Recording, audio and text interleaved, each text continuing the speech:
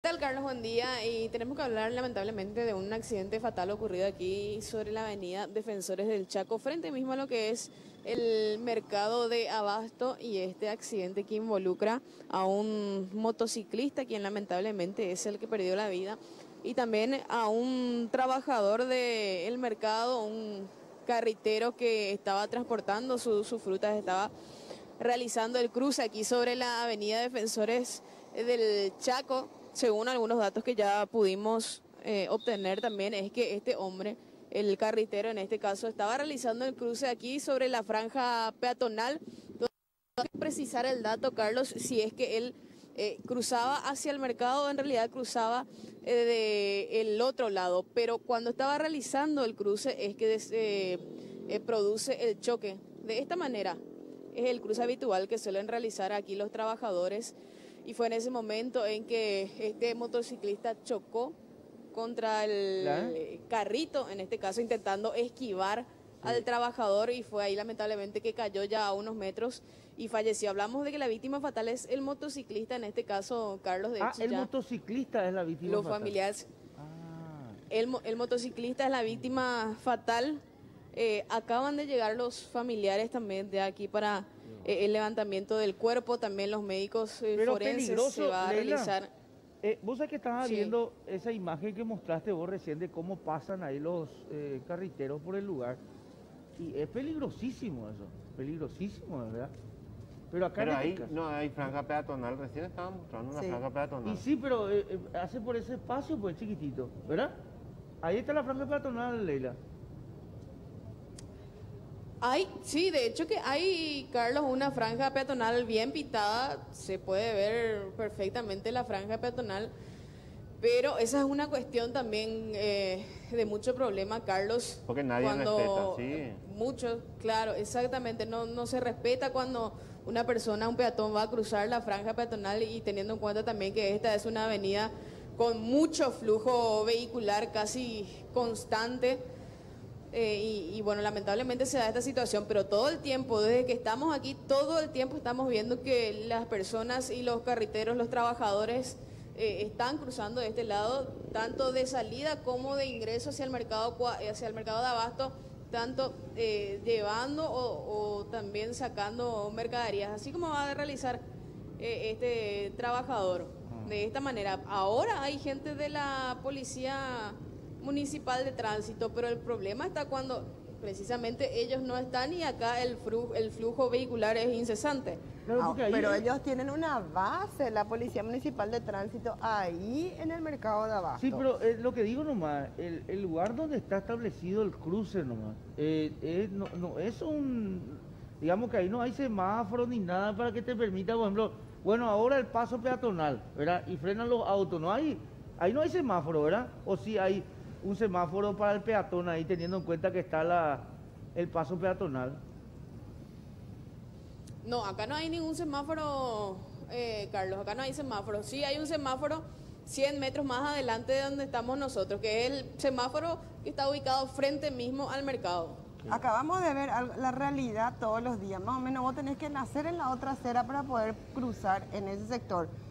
le dimos recién, aún con un policía municipal de tránsito, eh, a un transeúnte tratando, eh, corriendo a toda velocidad, después se queda en el medio y, y, esperar que el otro lado le den espacio para cruzar. Claro, lo que aquí pasó es, Leila, que el carrito cruzó este paso peatonal y la motocicleta no vio y evidentemente ahí se genera el, el choque y el motociclista cae al asfalto, ¿verdad? Exactamente, lo que no sabemos también es a, qué velocidad eh, de repente viajaba el motociclista, si es que no le dio tiempo de, frenar o en qué circunstancias fue que se dio el, eh, choque. Lo que sí, eh, los datos que, pudimos obtener es que él aparentemente quiso evitar impactar contra el trabajador, contra el trabajador del mercado y terminó chocando contra el carrito y eso es lo que el, impacto produce que él termine expulsado de, la moto y caiga a unos, a ver, son 20, 25 metros aproximadamente de la zona donde está ubicada la franja peatonal donde habría ocurrido el impacto a donde finalmente quedó el cuerpo de la víctima. Leila, este es el acceso principal a la entrada donde está esa suerte de, puesto en el mercado de abasto o es en la otra entrada para el área de los supermercados que ya no sería eh, propiamente este creo que es el principal. principal. Sí, este es la entrada principal del abasto. Frente, ¿verdad? Sí, digamos, la, les, voy a, para que ustedes se ubiquen bien, donde está el semáforo es la entrada principal al mercado de abasto. Ah, Pero aquí, donde está la franja peatonal y donde ocurrió eh, eh, el accidente, hay una pequeña entrada una pequeña abertura donde van ingresando los trabajadores con sus carritos. Por este acceso es que ellos entran y salen, no es que van otra vez hasta allá, hasta la entrada principal donde está el semáforo. Ah, acá, por ejemplo, me dicen, eh, hace un comentario, dice, lo que pasa es que en ese lugar del abasto a la hora del amanecer no se ve nada, no hay iluminación en ese sitio. Muchas veces tuvieron problemas con mi marido en esos lugares. Salen los carretilleros y no se los ve en ese lugar. Pero también está la la gente va a tomar colectivo, Rolando. El tema nomás también es que muchas veces no se respeta la franja peatonal, ahí o en cualquier otro lado no se respeta. En Paraguay. no solamente la responsabilidad del transeúnte, sino que también del automovilista, que hay lugares donde eh, se respeta eso, pero allí en muchos otros sitios nada, no. Yo te digo nomás, andar en Palma, que se vaya Leila, y que intente cruzar por la franja peatonal. Vos en otro país, Paraguayito se va a Camboriú, a Foz nomás se va. Y ahí vos pisás la franja peatonal y todos los vehículos tienen que parar. Acá andamos a pisar la franja peatonal y te, va, te van a pisar. Eh, acá lo que también es una recomendación, porque si hay un semáforo en la esquina, ¿verdad? En la esquina hay un semáforo, ahí sí tiene, me imagino yo, el tiempo para cruzar el peatón, mira, en ese semáforo. cierra. Claro, pues entonces, eh, ahí, mira, porque mira, todos pasan por ese lugar, mira, todos. pero tiene que haber necesariamente un semáforo en la franja peatonal. Tiene que haber, eh, pero, si a 100 metros está uno, ¿cómo va a tener otra vez una... Para eso va a tener la, para eso, va a tener la cebra. Claro, el, semáforo es donde entran los camiones, entran vehículos. pero ahí también, pero ahí también hay cebra. Ese es el problema mayor acá. ¿Y qué dice la regla, inspector? ¿Los vehículos tienen que parar cuando... Claro, sí, para eso está pintado la franja peatonal para que pueda respetar. Y cuando la gente está por cruzar, ahí ellos avanzan más en vez de... Ahí está. Mira, más los vehículos que dejar pasar a los... Claro, claro. Ese es lastimosamente conductora. Gracias. Eh. Ah, bueno, ahí está. Eh, y sí, eh, es el principal problema, eh, Carlos, que, los vehículos no dan el paso al peatón, cuando la prioridad es el, el peatón al estar sobre la franja peatonal. Cierto es lo que dice, porque estamos hablando de una zona de mucho movimiento, una zona de por sí movimiento que no te podés ir a una velocidad excesiva, y lo que dice ella, la Policía Municipal de Tránsito, de que parece que ahí la gente acelera, la zona donde se ve la cebra o el paso peatonal. Y si uno tiene esa cultura o esa educación, eh, va a disminuir y por ahí le va a dar paso al peatón que va a cruzar también. ¿eh? Los carretilleros deberían usar el chaleco reflectivo. Pero acá también se habla de la oscuridad rolando en el lugar, o sea que no le ven pasar. Esa también es una situación, o sea, yo entiendo el tema este, que no se respeta en absoluto. Acá me dice, en el Chaco se respeta, dice el sí, sí, ¿no? Sí se respeta. Eh, hay lugares donde se respeta, pero aquí no se respeta por un lado, pero por otro lado, el lugar oscuro, en el momento de pasar también, eh, hace que no se les vea a ellos en ese momento. Hay que ser sinceros, los muchachos te estacionan en la franja peatonal y la gente tiene que cruzar en medio de los autos. Ahí, eh, pero, pero yo te voy a decir una cosa, recién mostraba cómo la señora iba a pasar estaba el personal de la Policía Municipal de Tránsito y el taxista pasó mm. mientras que había peatón que estaba en, en la cebra. 5.45 niños con tema ya imposible que no Se ve también. Sí, pero la cebra no, tiene funcionamiento por horario 24 horas, vos tenés que atender cuando tenés cebra. No, pero acá es el clásico, este, vos no, no frenás. Eh, cuando veo un peatón no frenás.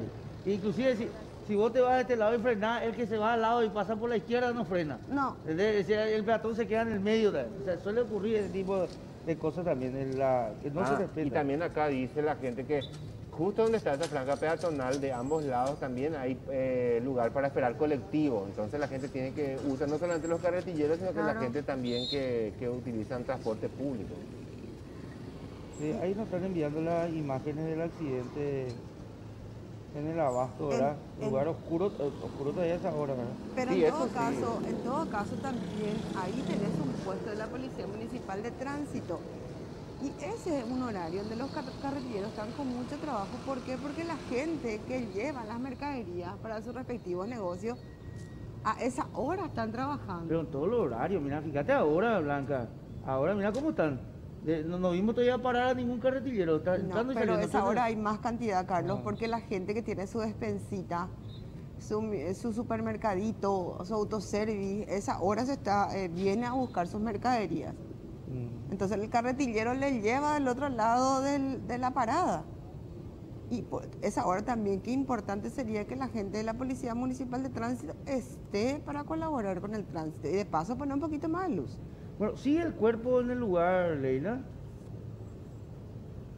Eh, sigue, sigue el cuerpo, Carlos, siguen llegando también los eh, familiares para la identificación eh, y enterándose lamentablemente también de la noticia. Estoy tratando de, de acercarme también al comisario interviniente para que nos dé la identidad de las personas involucradas, de la víctima fatal y así también para saber qué pasó con el trabajador carritero porque nos estaban informando que él fue trasladado hasta el hospital eh, de traumas debido a las lesiones también que sufrió.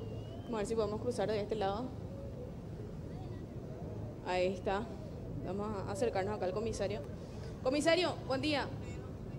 Comisario, estamos en vivo para Canal 9. Tenemos los detalles, comisario, de, la identidad acá de la víctima. Eh, estamos justamente cotejando las informaciones. Este, aparentemente es conocido acá de la zona, trabajador, me están informando, y estando...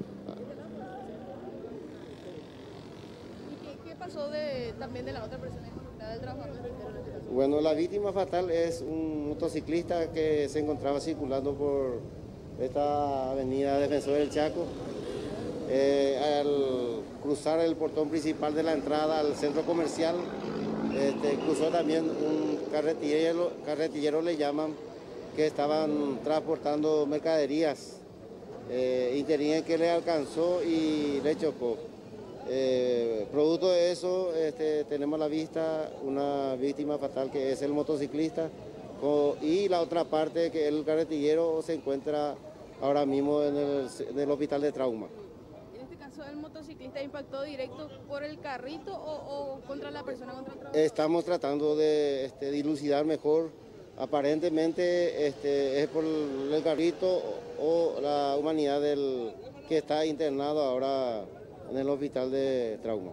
No tenemos ninguna de las dos identidades todavía, comisario. Estamos buscando sí. Están los familiares ya. familiares, sí. Ahí está el comisario Roberto Mora, entonces eh, intentando todavía acceder a las identidades de, de estas dos personas, ¿verdad? tanto la víctima fatal como el trabajador también que fue trasladado hasta el hospital de traumas.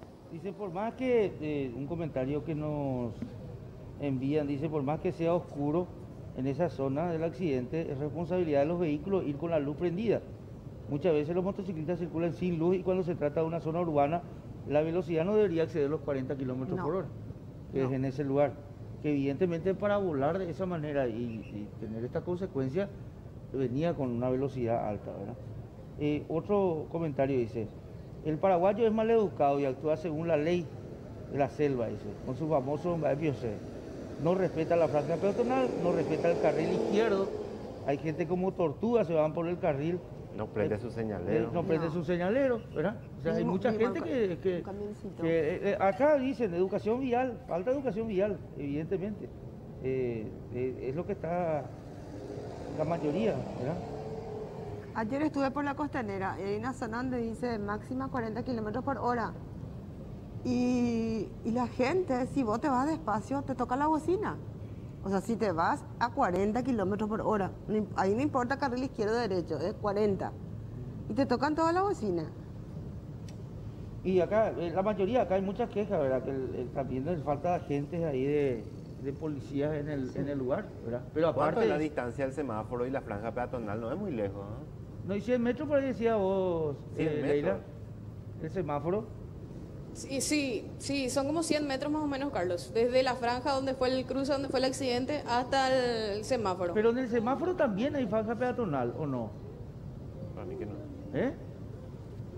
O sea, Y podríamos ir a ver, Carlos, Yo vi si un es que- letrero porque de lejos ten- apuntaste con Mm. un letrero donde había una, una Sí. figura así para que camina, ¿verdad? Ese Estaba es- cerca del semáforo. Ese es donde está la cebra. No, más allá. Allá está, mira. ¿Verdad? Ahí está, ¿viste? Ahí está. ¿Viste? Para Y ese es cerca del semáforo. Ese es el letrero. Sí. ¿Viste? Entonces quiere decir que ahí A también 20 tiene que haber. Vamos a verificar, eh, Leila, vamos a ir un ratito hasta allá porque evidentemente ahí hay una, Pero un lo paso que digo peatonal yo- también. claro, pero los pasos peatonales no en todo, si no vamos a llenar el, el semáforo también la ciudad, los pasos peatonales no necesariamente tienen que tener un semáforo. No, no, claro que no. Por claro que eso, no. eh, y- No, que, es que por eso, pues, la educación vial te dice que cuando vos ves un paso peatonal y está la persona parada para cruzar, vos tenés que frenar. Sí, Así es. así Claro, debería claro, ser. Claro, sí. así es, o sea, eh, es como que, no sé, o vos amagás que vas a pasar, y, a- o no sé que eh, exista ese semáforo peatonal, ¿verdad? Que cuando Ahora, vos en a- el vos- semáforo, vos, ¿cuándo- estás ahí y vos prendés. ¿Cuándo tenés que cruzar, Carlos? ¿Eh? En el semáforo. ¿Cuándo tenés que cruzar? El peatón. En un semáforo normal, y te aparece la luz verde del peatón. Claro.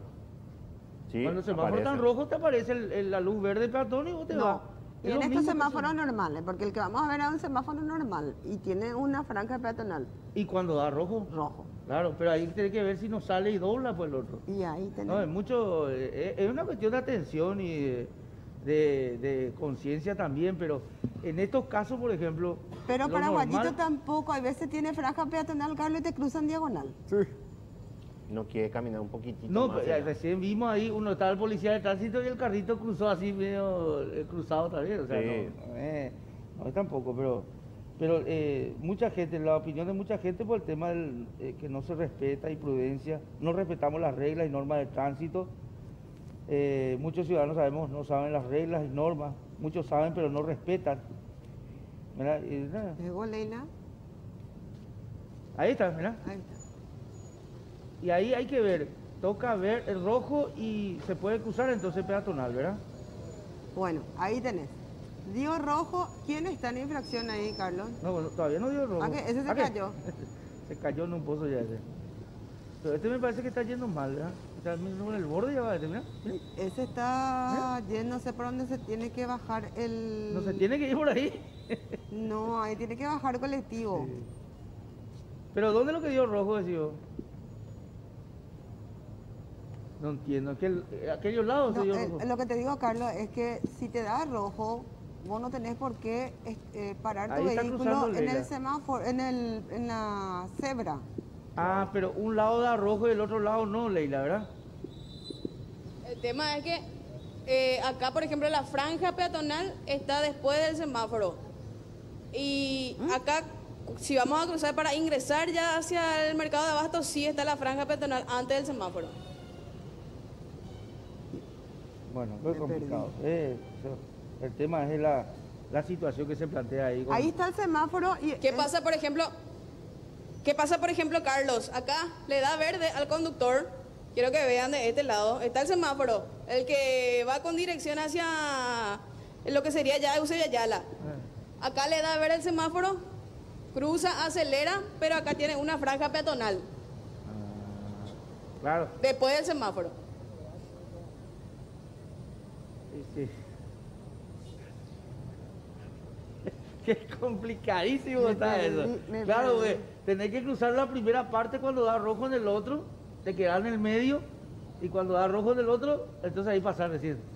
Tenés que ir Te- al paso. claro, ¿eh? en, en una, en una parte cruzas en rojo bien, porque te, te autoriza el semáforo, pero en la otra parte cruzas en verde. Mm. Me perdí. No, hay- eh, que no, es solamente el tema de eh, eh, saber las reglas de tránsito, sino mira, que ordenar también la situación. ese Toyota, Carlos, que, está- que vemos allá, del otro lado, del otro lado,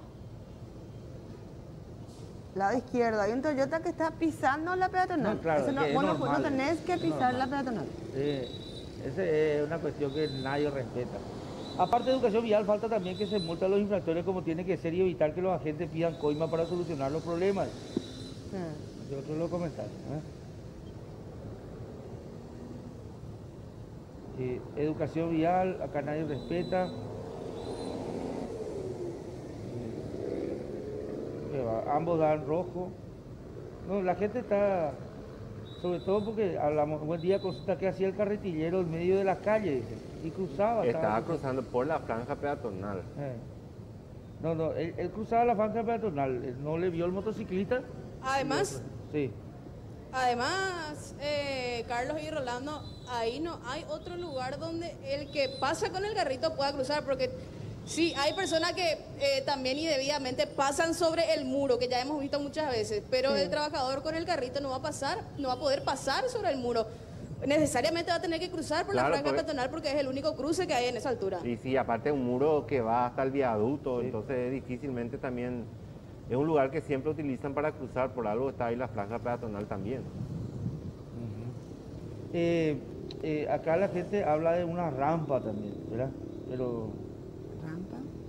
no, eh, digamos que es como pueda subir, pero usar el parque carretillero, pasar por arriba, hace una locura. Y no solamente, claro, no, pero ahí también eh, para cruzar personas que no pueden caminar y cosas como eso también se utiliza ese, para todo, todo tipo de personas, el lugar por lo menos que está ahí habilitado.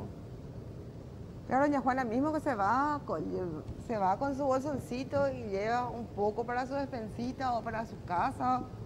O la señora que hace empanadas, se va, compra, cruza y después lleva a su, a su casa. No solamente los carretilleros son los que pueden pasar por ahí, porque esa es la zona donde están las verduras, entiendo, Leila, ¿verdad? Sí, es una zona donde no solamente cruzan ellos los, los- los carretilleros, sino eh, un punto donde cruza mucha gente que sale del mercado y mucha gente que tiene la intención también de ingresar hacia el mercado. Además, hay muchos otros locales también en las inmediaciones y, y la gente está cruzando y cruzando todo el tiempo. Desde que nosotros estuvimos ahí, veíamos eh, el paso incesante de los peatones en ese lugar, teniendo en cuenta que es una zona muy concurrida. Bueno, eh, gracias Leila, gracias, y muchísimas, muchas gracias a la gente también que está participando y está comentando con referencia a esto, pues, aportando muchísimas cosas. Uno de los lugares me dice también en Roque Alonso, frente a la rural, dice que hay un peatonal ahí, peatonal ahí que nadie respeta. No. ¿eh? Ese dice que eh, en ese lugar dice que eh, lo que hacen es, y claro, y ahí fíjense que el, el- ahí tienen casi tres carriles por ahí, ¿verdad? Y ahí solo en la expo cuando están los inspectores. Sí, no, solamente en esa época, ¿verdad? Pero esa zona ya se cobró tantas vías de gente que cruzaba. Ahora sí que disminuyó un poco, pero anteriormente la cantidad Y claro, de... porque ahí tenés tres carriles eh, para llegar al medio y después fino el, Finito. el, el lugar y tres carriles otra al otro lado. Mm. ¿verdad? No, no tenés forma. Y ahí hay peatonal. Ahí hay peatonal. Pero Hablando nadie de gente que no respeta, simplemente quiero compartir nomás este video de... Eh, si voy a poner la computadora un ¿Sabes ratito. que A ver. también es un problema, Carlos, para los automovilistas? Entendemos que la gente quiera poner espacios. Ay, ¿Ah? Cómo los muchachos cruzan el rojo. Ah, así. claro. Ese Ah. paso en rojo de... Es que, no, hablando de no respetar nomás, Sí, porque ¿ya? tres pasaron ahí en rojo. No- Y nadie son respeta. motociclistas que si viene después un auto le lleva por delante. Imagínate vos si alguien cruzaba ahí por la franja peatonal, le iban a llevar por delante. Mm. Nadie respeta nada. Si sos un peatón, mejor esperar que te den el paso y no salir como Superman queriendo detener el tránsito. No siempre un auto puede frenar en dos metros, además te chocan de atrás. Claro, al clavar el Pero freno en la tanto el te- automovilista como el peatón tienen el mismo derecho también, entonces Claro. O sea, paraguayo tiene cada que tiene entender que la peatonal, la, la, la cebra, es. Cuando ves una cebra, sabes que tenés que parar. Claro. Pero este, Y tanto, esa no es una autopista. tanto como automovilistas no frenan en peatonal, las personas cruzan mal en medio de la calle. No usamos la peatonal. dice. Dice en la ley de tránsito el peatón tiene la preferencia, dice el conductor tiene que darle paso. Y anda a intentar. No. Intenta cruzar ahí, nadie te va a dar el, el paso, pero nadie. Vengan un poco en hora pico a mirar cómo hace un peatón para cruzar. Usted ve allá la igorostiaga. ahí. Ah, no, es en todos lados. ¿Eh? No hay nada que te ponga el peatón en lugar de preferencia. Y, te- y, y- y se quedan todos sobre la franja peatonal Claro, y la gente cruza ahí detrás del colectivo en Y medio sí. de los vehículos. Y se- salta una el- moto ahí, El colectivo lo ya llega. Y ahí en el medio quedan, ¿verdad? Ahora está todo tranquilo porque, porque hay policía de tránsito. Esto una hora cuando se despeje todo. Mira, mira la carga que tiene este para cruzar. Nadie frena, ¿verdad? Y hay otra gente que se va a hacer sus cosas y Sí. cruza también. Pero paró, paró la, pararon ¿Y los este dónde se va? Mira, mira por dónde cruza este pueblo, mira, mira. ¿A qué? Se cayó ¿Viste? su tomate. Y claro, y este ya no cruza otra vez por la cebra, ¿viste? No. De allá por Uruguay. Ese es pintura el tema. Ese es el, el inconveniente que ocurre, ¿verdad? A ver este. Y ahora está porque está el policía de tránsito, pero después la forma de cruzar ahí es... Bueno, esto tiene que ver, ¿por qué estamos ahí en ese lugar? Eh, eh, ¿Ya levantaron el cuerpo, Leila?